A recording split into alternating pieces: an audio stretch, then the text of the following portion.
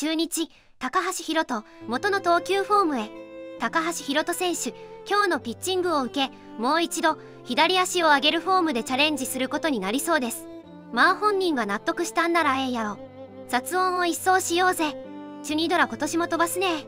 憧れるのはやめましょう。何がやりたいん？山本に憧れるんはわかるけど人それぞれの特徴があるけど。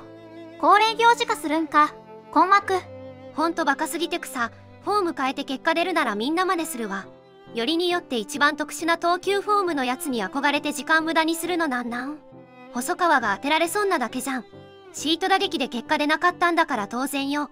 山本由伸のアーム投げとイチローの頭のブレる打法は誰も真似せん方がええやろ。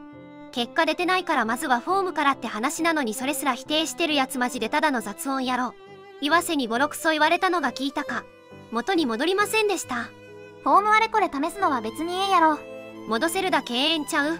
よかったフォームから進もうとしてフォーム変えて合わなくて戻せず全部中途半端になる。まあいいんやけどどういうメカニズムとか数値とか見てんのかな？これは合わんと納得できたならええ。ご視聴ありがとうございました。